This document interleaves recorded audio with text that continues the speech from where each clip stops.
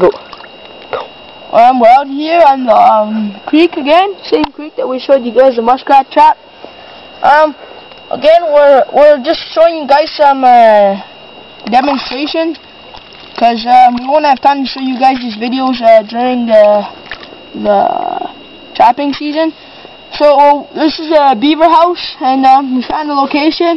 The beavers have been coming up here to uh, eat or something. Anyways, it's all wet already, so they were they just came up here.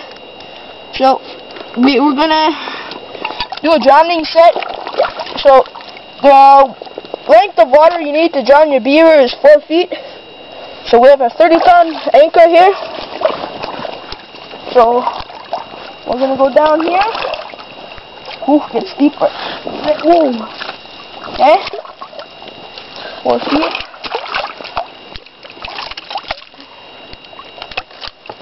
And make sure you never don't have any uh branches in the water or anything that's gonna prevent your trap from going down. So we have our uh, long spring foot trap here.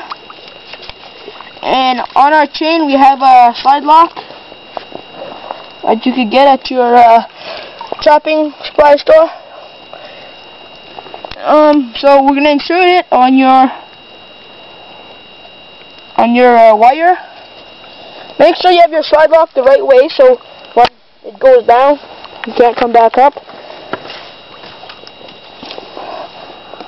And here we have our pole that we're going to tie the other end of our wire on. Bring this up. Make sure your wire is uh, tight from your anchor.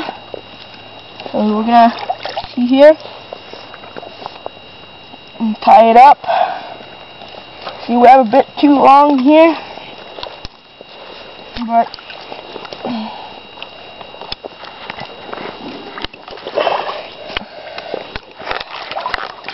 it's just demonstration, so we won't tie it up perfect.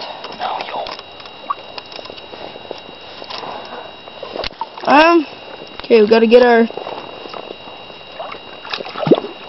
need to get our wire is here. We have our lock and the trap.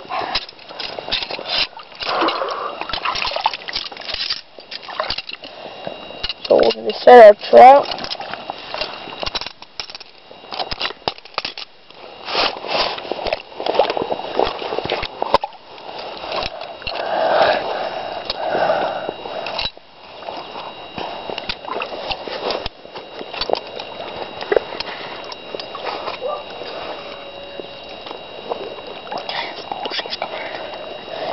Okay. Um, when you put your trap in the water, you always want to have it like like that because if you have your trap like this, you, you could step on this dog here and it unset and you probably wouldn't catch your beaver. So you want your trap to be aligned like this, so he'll directly step on that pan. So you want to make sure you have a nice uh, solid base and make sure your trap's kind of underwater so he can't see it. And here we have our lure, beaver lure.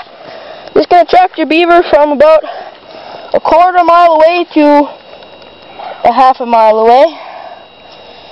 Um, we'll put some on this stick here.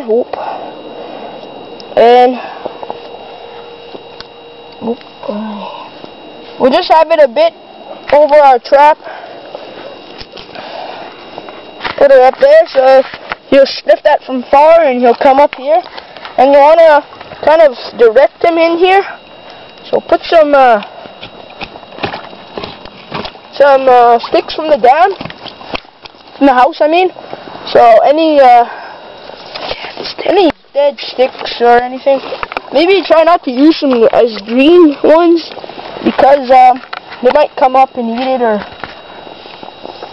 something put this one right here. Just a few sticks, make it simple, and just make sure he's kind of aligned to it, that trap. He doesn't go around. So, that's our trap for today. Um, we'll be subscribing more videos on YouTube, so watch them all. Thanks.